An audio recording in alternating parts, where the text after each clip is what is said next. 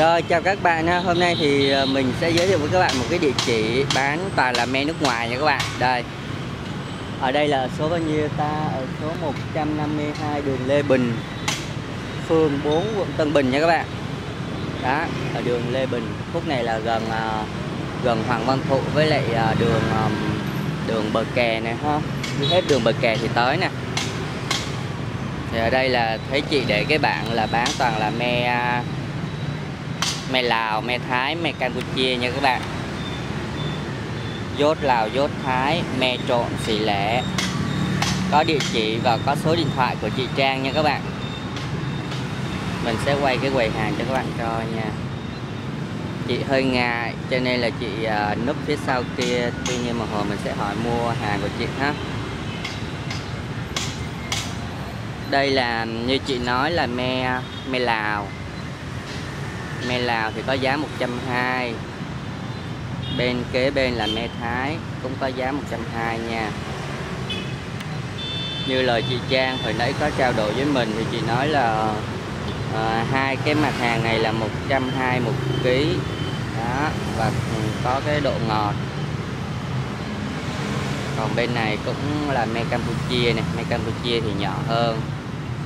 Nhìn nó hơi uh, nhỏ có giá là 100 ha. Ai mà sành ăn me thì có thể ghé cái quầy hàng của chị để xem ha. Xem và mua ủng hộ chị. Đây là me đã được uh, sơ chế nha các bạn. Bóc vỏ và cái này mình tẩm đường hả chị? Dạ à gọi là me muối ớt nha các bạn. Ai mà rành ăn me thì sẽ biết ha Me muối ớt là bao nhiêu một hộp chị Trang? Dạ 75 ngàn. À 75 ngàn một hộp. Hộp này là khoảng nửa ký không? Dạ nửa ký. Dạ. Rồi Chị có bao nhiêu cái loại um, mứt me rồi là me uh, này Nó nhiều chị? loại lắm anh. Ờ. Nó là hàng sấy qua công đoạn đó là sấy. Còn đây là me là trực tiếp mình làm ra mình trộn với ớt thôi. Còn à. cái công đoạn qua sấy đó chắc là những cái kia thì chỉ có có nhập của người ta hay có là à, còn cái này là mình tự làm đúng không? Dạ.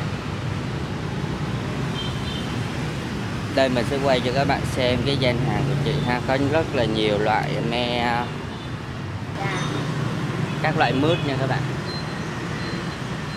Muội. Cái này là chị sẽ trưng bày bán các mặt hàng khô ha.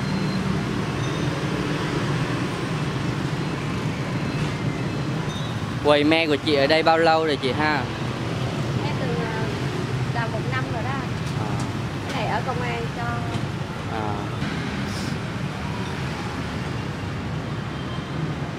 Cái muối này mình uh, muối Tây Ninh hay muối gì chị? Tây Ninh với muối ớt em tự làm. À muối muối Tây Ninh là cái hộp bên này đúng dạ. không? Còn mấy cái này chị tự chế hả?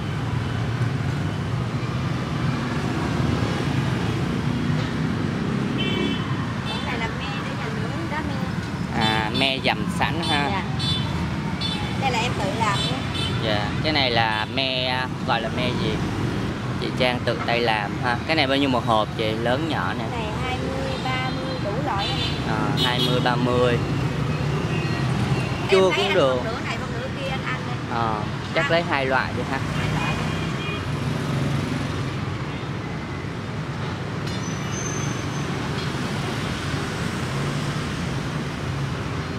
bỏ bịch riêng cho à, chất bỏ bịch riêng cho em để ăn để có sự so sánh ha